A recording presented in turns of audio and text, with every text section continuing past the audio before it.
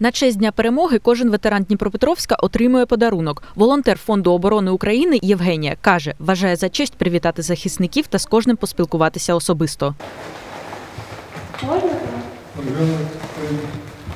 Ветерани зустрічають Євгенію з радістю та неприхованим здивуванням. Колишній десантник Олексій Андрійович зізнається, кожного року отримує різні листівки, проте такого знаку уваги не очікував.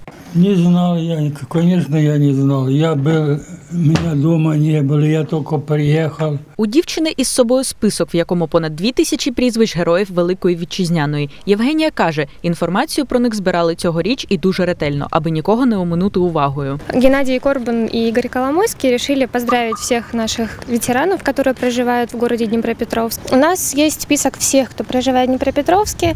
Наша команда разделилась по районам, и вот нас по двое человек в каждом районе мы вот возим просто по списку, не выбираем, тому хочу, тому не хочу. Все они воевали, все защищали нашу родину, и все должны получить свой подарок. Мы дарим им такой мешочек сухпайок. Здесь конфеты, сгущенка, э, консервы, сахар, гречка. Але не всіх ветеранів вдалося застати вдома. Були й такі, які не відчиняли двері через недовіру.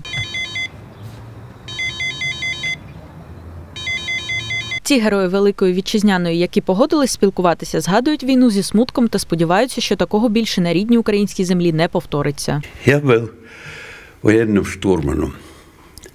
Летал, бомбил. Сейчас все кончилось. Аліна Цибульник, Макс Бодриченко. Новини 9 каналу.